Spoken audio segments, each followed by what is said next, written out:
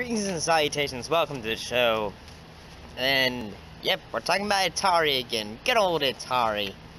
And this is an update on the Atari box.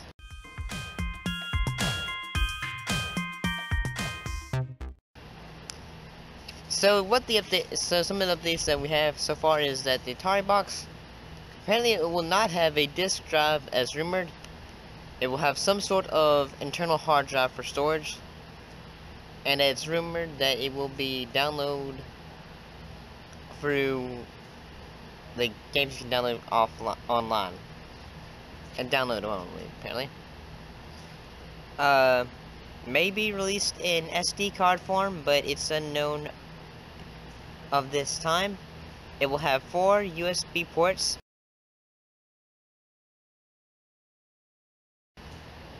One HDMI port and uh, one SD card slot.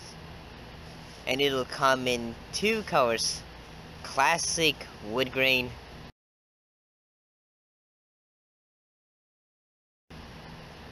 Or sexy red and black.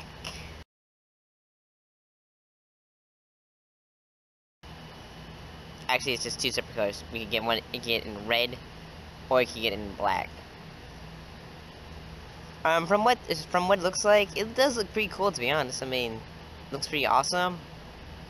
I'm just like wondering though, like what kind of games are they gonna have? Are they gonna have like Atari games from all the Atari consoles, like from Atari 2600, Atari 5200?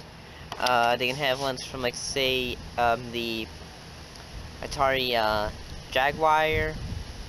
Because I mean, I would love to play Tempest 2000, or, or even say um, Bubsy when Atari, Jaguar.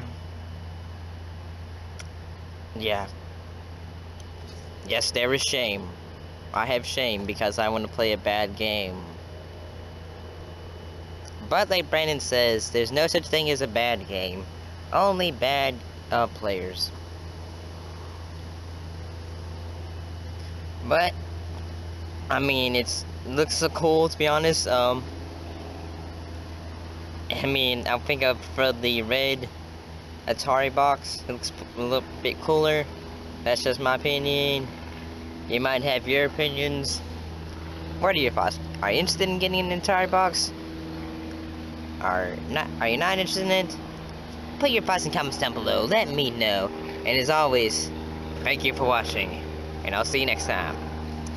Bye-bye.